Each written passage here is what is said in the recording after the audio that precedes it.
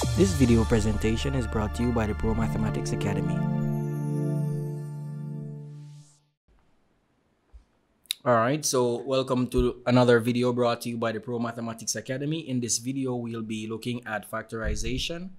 And we start by looking at the definition. We say that factorization is the process of factorizing an expression or number. Right, so to factorize a number or expression, we want to write it as a product of its factors. So we need to define what we mean by a factor. So we say that a factor is a number which, when divided into its multiple, there is no remainder. All right. So example, let's take the number four. When you look at the number four, we see clearly that one is a factor, two is a factor, and four itself is a factor. And the reason they are all factors is that when we divide four by the number one, it's equal to 4 and there's no remainder. When we divide the number 4 by the number 2, we end up with the number 2 and there's no remainder. And when we divide the number 4 by 4, we end up with 1 and we also see that the remainder is 0 there. So if we were to factorize the number 4, right, we want to write 4 as a product of its factors, meaning we can say that 4 is equal to 2 times 2 or 4 is equal to 4 times 1. Likewise, we could say it's 1 multiplied by 4. And when we look at the number 4 and other numbers, we realize that there are many ways for factorizing that said number.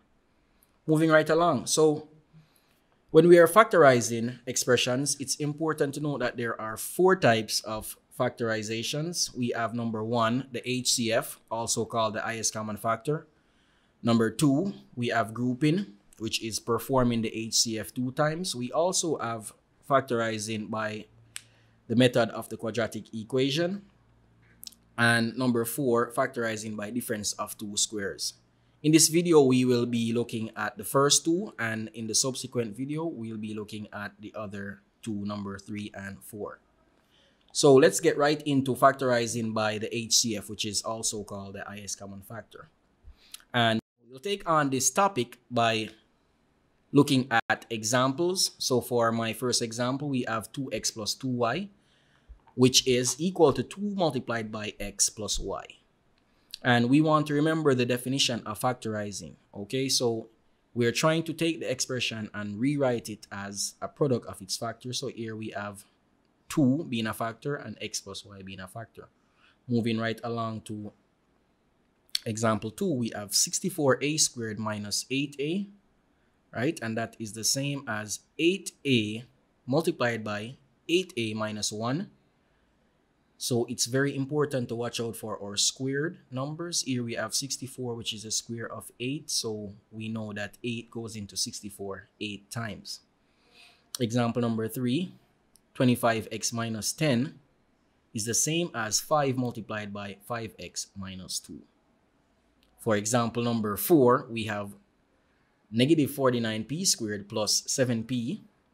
And let's pause right here to make a note. And it's important that we recognize that if the expression begins with a negative number, we want to factor out a negative term or a negative factor. So for this example, we recognize that negative 7p is common in both terms. And by factoring out negative 7p, we end up with minus 49p squared plus 7p equals negative 7p times 7p minus 1. For example, number 5, we have negative 64x minus 16. And we want to note that sometimes you can take multiple steps to get to the answer when factorizing expressions. It doesn't have to be in one step.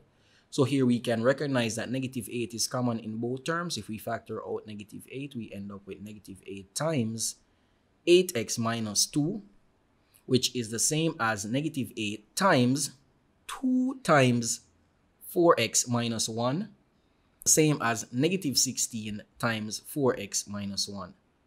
So if we were to recognize that 64 divided by 16 is equal to 4, we could have done this question in one step.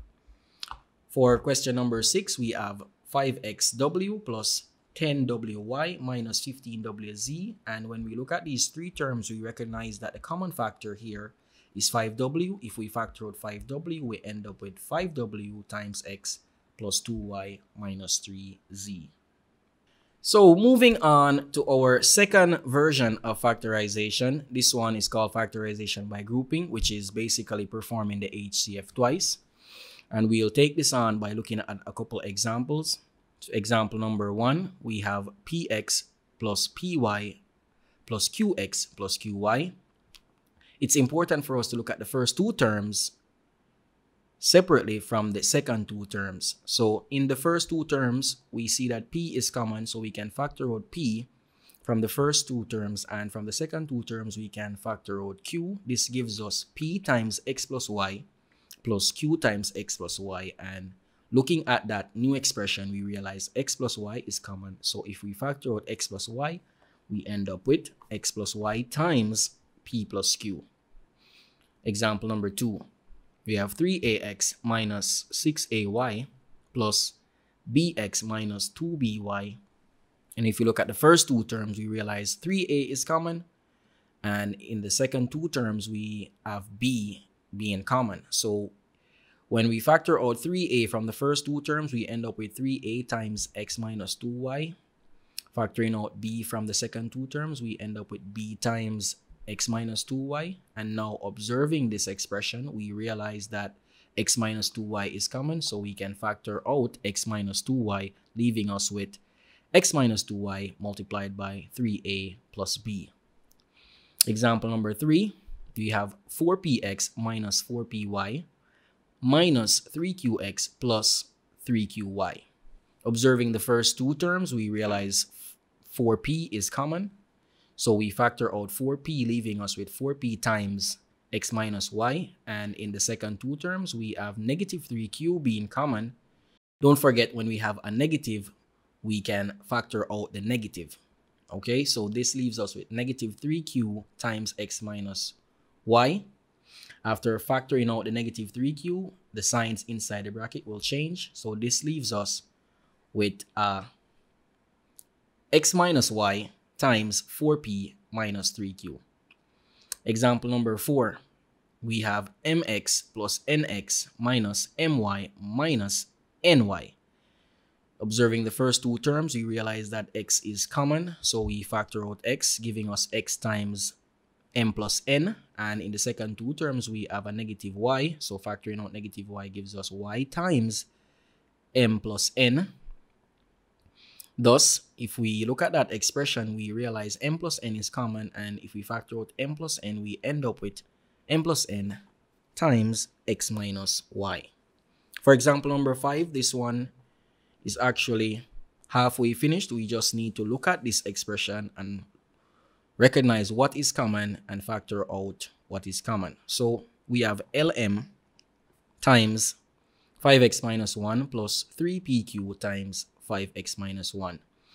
Observing the expression, we realize 5x minus 1 is common in both terms, and so factoring out 5x minus 1 gives us 5x minus 1 times lm plus 3pq, and that gives us our final answer. Please remember to like, share, and subscribe. We'll see you in the next video.